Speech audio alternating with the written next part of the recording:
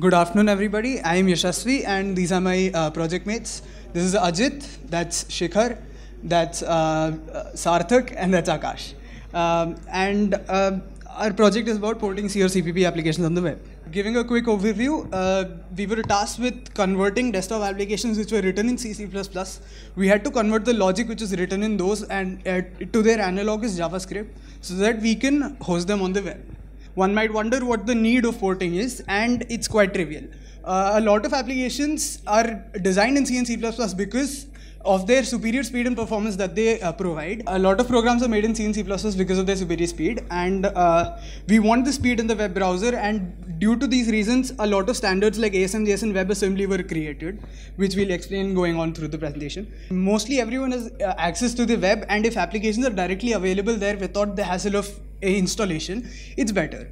And a straightforward way to convert applications would be to directly look at the C, C++ file, understand them, and write the code again in JavaScript, but that would be slow. And hence, we need to port and we use we make use of a very handy uh, tool called Emscripten. And I'll call upon Ajit to uh, give a brief explanation about Emscripten. Good afternoon, everyone. So we use Emscripten to port the C or C++ code.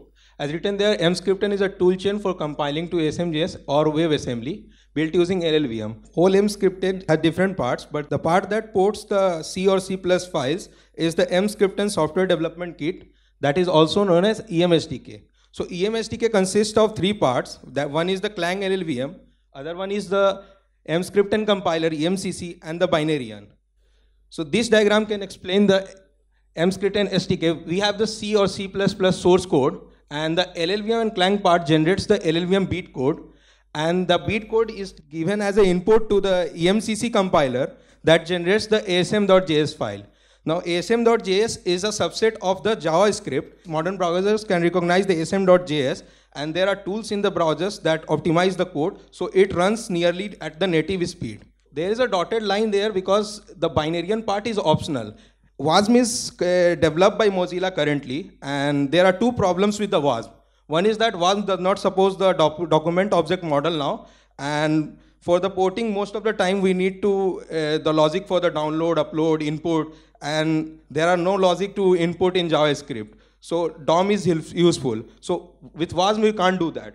Plus WASM is not currently fully supported in Chrome. Sometimes WASM streaming fails. So we have worked with asm.js. So this is a simple demonstration of a file. For example, this file will print, uh, if we run this file and uh, build a executable file with the GCC or G++ compiler, this is the support, simple first porting example using Emscripten. To do the porting of the generation of the JavaScript file with the EMCC, we'll just write analogous to the GCC, like emcc hello porting.c minus o hello porting.js. We can also generate an inbuilt HTML file, but the inbuilt HTML file is just like a template. It has a text area to display the what is output that will come in the executable file. So it is not useful for us because we have to interact with the DOM. So the overall development flow of the Emscripten can be explained with this file. We have the source code, we generate the BC file, and then we have generated this JS file. So most of the time we have to uh, think about how to interact with the functions that are generated in the JS file. So we have to write a front end to interact with the JS file. So we have the index.html and the JavaScript generated through the source code. So we serve all the files on the local server and then we can interact, test or debug it, it in the browser. So first example that we did was the PNG Crush. So what is PNG Crush? So PNG Crush is a free and open source command line utility for optimizing PNG files. So what it does, the main C files, if we create a, executable file, it takes input PNG and generates an output PNG, which is a compressed of that input PNG.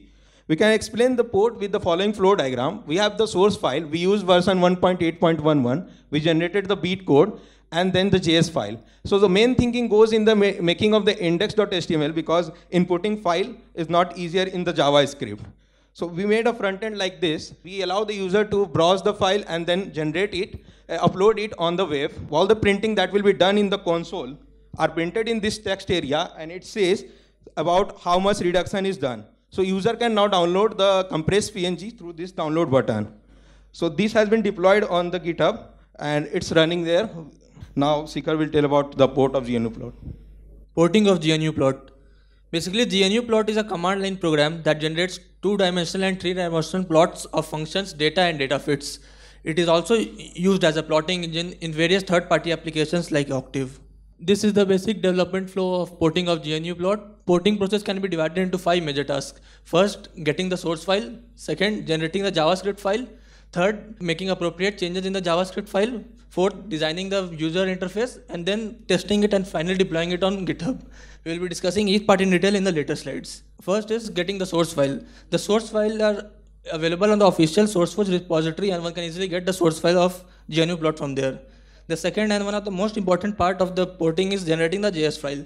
This is basically consists of two major tasks. One is generating the LLVM bitcode and then generating the JavaScript file from this LLVM bitcode. For the first part, for generating the LLVM bitcode, we basically use two commands, emconfigure and emmake. emconfigure does the job of replacing GCC and G++ with EMCC and em++ while generating the makefile of the application. What emmake does is that it generates the LLVM bitcode. So basically these were the two commands we ran on the terminal to generate the file. However, when we ran the second command emmake make from the base directory, we faced an error due to the fact that emmake did not possess the permission to access the docs directory. But since the docs directory basically contains documentation of GNU plot, and if someone is using this uh, ported version of GNU plot, we expect them to have at least a bit of knowledge about GNU plot. So we just move into the source directory and ran the same command again. So with this we got the bitcode. We then took this file to another location which had the another directory which had another file called pre.js and then gave it an extension of .o.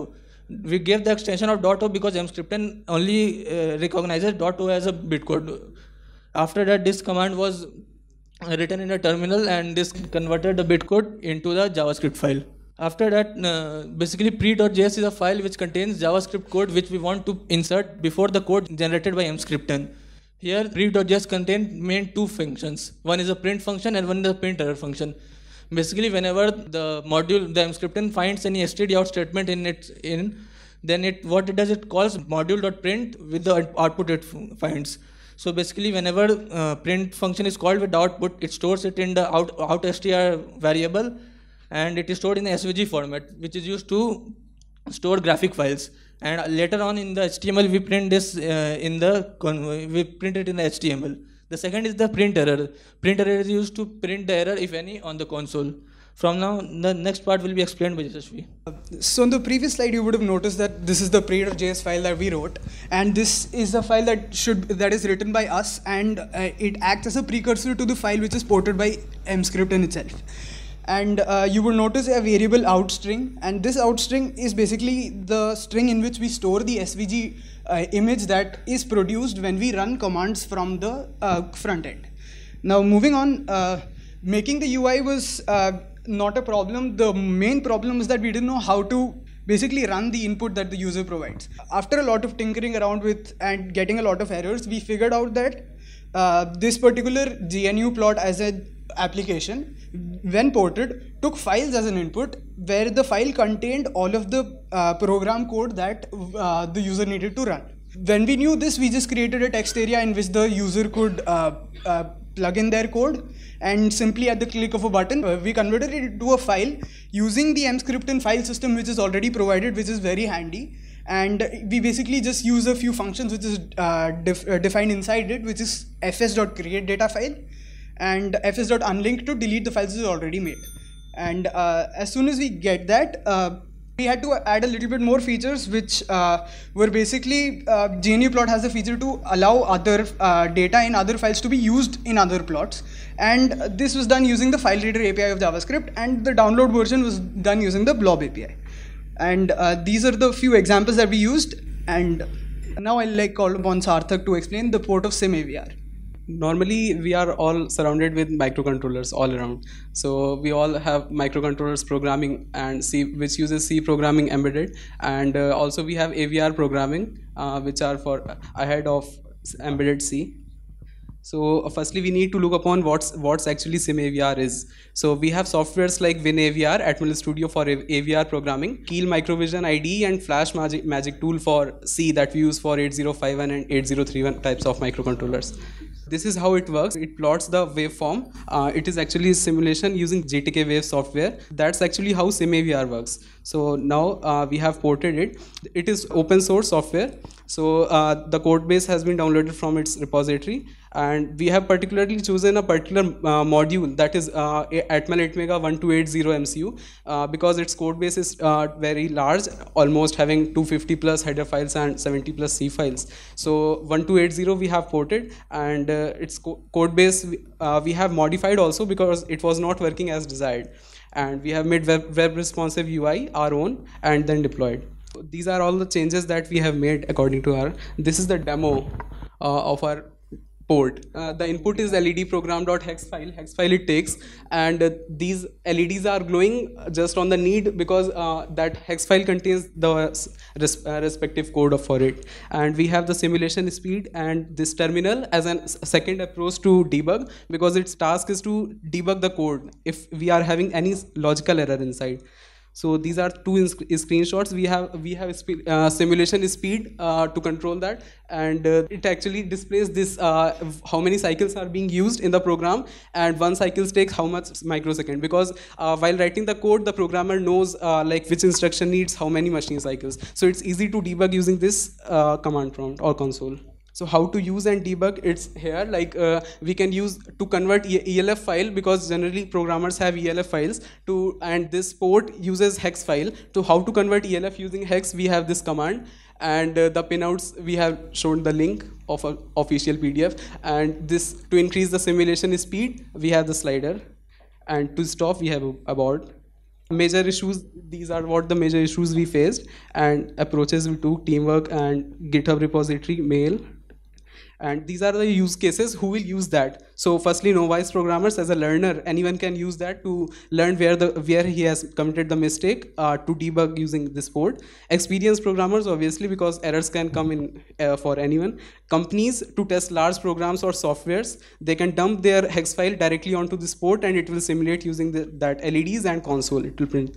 And educational institutes obviously limitations we have because it's not perfect. Firstly it is particular uh, port or particular mcu that we are porting not actual whole sim avr but uh, this particular module has been successfully ported. Uh, ren- rendering of lcd screen was not possible because uh, we are getting the command like what to print but we are not having that particular lcd character on the web. So we need to uh, develop uh, to 16 by 2 lcd actual virtual lcd there.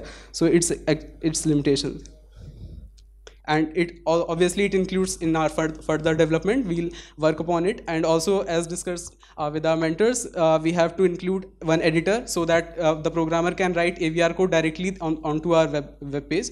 And uh, we can uh, compile the intuit hex file and it can be simulated.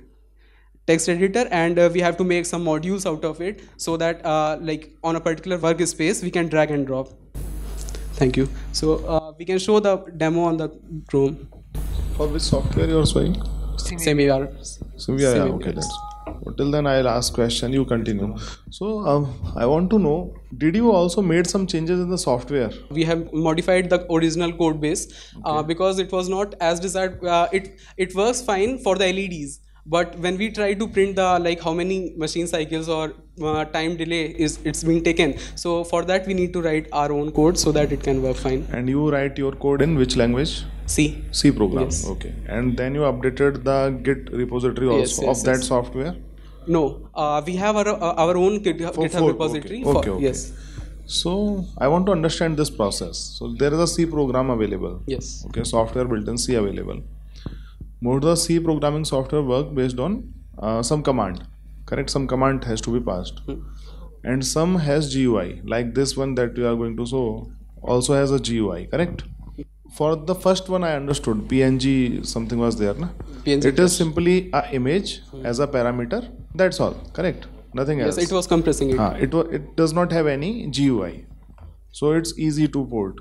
But when you are talking about C programming, which has GUI, then how you made this front end? uh, front end we have made in HTML and CSS and using the JavaScript that we are producing or generating through Emscripten uh, by compiling through uh, all those C files or C++ file or header file that we are having. So we are communicate we are making worker.js to communicate between that HTML that we have written and backend that semavr.js that the Emscripten is producing. Okay, so there is a logic Yes. written in C, then your front end built in JS. Hmm. Both are unconnected, correct? Hmm. Then how you connect them? Uh, logic is being converted to JS by Emscripten only. We are writing HTML for it. Yes. Okay. So the question that you asked before, as in how the logic is being converted, hmm. what happens is Emscripten makes a global variable called module. Now this module stores all of the functions in a different format. Like uh, it converts all of the functions that are written in the CC programs, and it stores it as uh, mm, uh, functions of this greater module object which it creates. So we need to figure out which function to call according to what input we get. Okay. So um, in the beginning you mentioned that if we write all the logic in JavaScript, it will not be very good. Means the performance will be very Yes, low. sir. Correct. So now what is happening? It is converting that So logic in- into some other language. No, To not, not necessarily. So what happens is uh, Emscripten makes two files. Hmm. One is the basic JavaScript which has a definition of the functions, Okay. and then another called the mem file. The mem file stores the actual logic of the function, and then because it's a bit code file, it's binary Hmm. okay. file. It's so that easier is to converted read. into bit Yeah. and dot Yeah. o file is Yes. called. So the function is called, but after that the do, dot o file is called. Yeah, Okay. the, the function is read, and then it's uh, the output is given back. Uh, so I was thinking, what is the size of this JS file that is created? That was one of the limitations that we showed in the GNU plot. Uh, one slide was missed there. And the size generated is around, for the softwares like GNU plot, it is around 5.5 MB. And for the SimAVR also, it's, it's big file. So we can work on that. There are optimization levels in the Emscripten. So if you optimize more, then there are loss of functions. Some functions are not present. Then we, we have the problem. So, we, so till now the file is large. So if not JavaScript, then how will you implement uh, something like PNG Crush on the web? Then we have if to write the logic no, in you- pure if you JS. don't, if, no, if you don't have to use JavaScript, can you communicate with the How? with the C program written on the server, and you can you know just communicate with an API? So for that we can use the WASM uh, So what is- WebAssembly. no, what is really happening is that the applications are so tightly coupled, and then now you cannot separate it out. That becomes a problem. So, so these are older applications, GNU plot and other.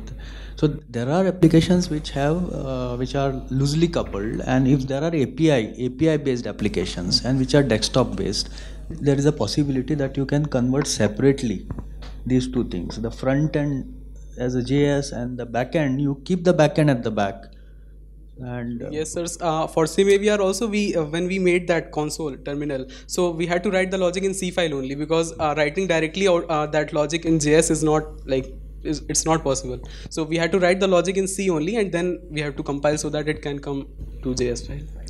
Okay, and one more thing. One of uh, the the main points that you said in one of your first slides was that uh, the speed factor, right? That if you write it in JavaScript, then it will be slower. So you could have done a short comparison saying how fast the C program runs and how fast a similar one in pure JavaScript runs, and then how fast is your converted one with this. Um, Uh, so for that, continuously Emscripten is being upgraded. So they only the developer of it claims that uh, the MS, the JS that is being generated by Emscripten uh, has almost similar speed uh, till date is, it has achieved, uh, just like the native C code. and and are there some organizations that are using these kind of tools? Okay. okay. so there are various projects that are using it.